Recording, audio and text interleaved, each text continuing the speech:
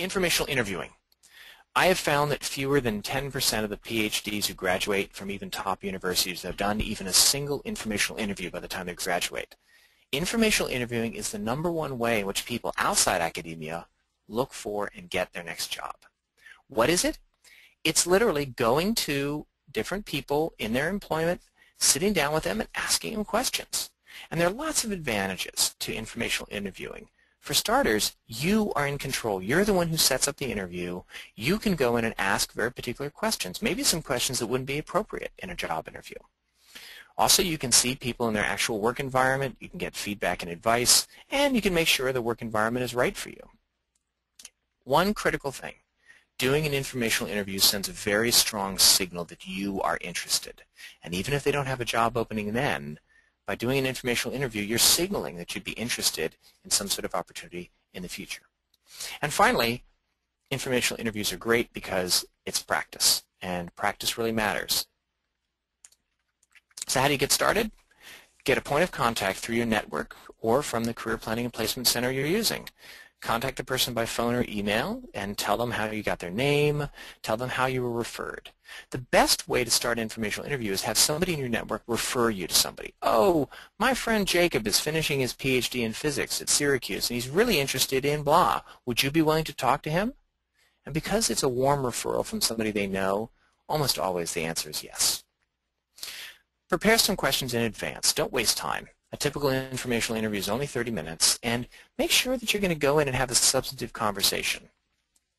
The best questions to ask are questions like, what's the required background and training, and specific information regarding the career, personal experiences, advice, and future trends.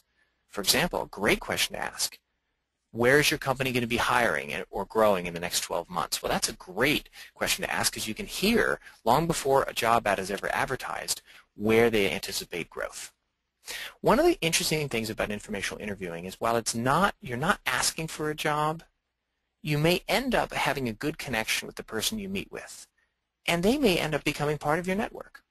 And in fact, this has happened both to me and to many other people I interviewed, that in an informational interview, they had a great and enjoyable conversation, and then weeks later, the person calls them up, hey, I really enjoyed our conversation. I passed your resume around to other people in the office, and, you know, we have this new initiative starting, and, well, dot, dot, dot, would you be interested? And what a great opportunity to put yourself in. Now you're the insider. In some ways, you should treat an informational interview like um, a job interview. You should do your homework, think carefully about what you, you want to learn, prepare questions. You want to think a lot about what stories you want to tell about yourself and how you want to dispel maybe some of their stereotypes if they're not familiar with physical scientists. You definitely write a thank you note. Physical note on paper, these days I find it's a little Victorian. I think an email is, is perfectly good and appropriate, but do it quickly, either the afternoon or the day after you have your interview.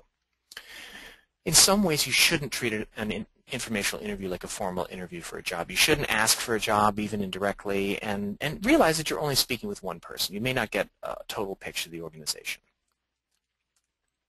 Now, some people always ask me, why are people willing to be bothered? You know, why would they bother spending half an hour at, you know, talking to me? I'm just a grad student.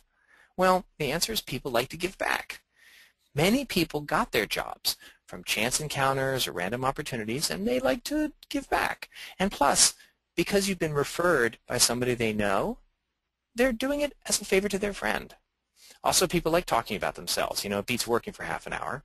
And, you know, even though it's not an interview, interview for a job, finding fresh talent is critical to an organization's success. So when somebody expresses interest in an informational interview, many employers are curious, well, maybe this person has some unique background and experience that would be useful here.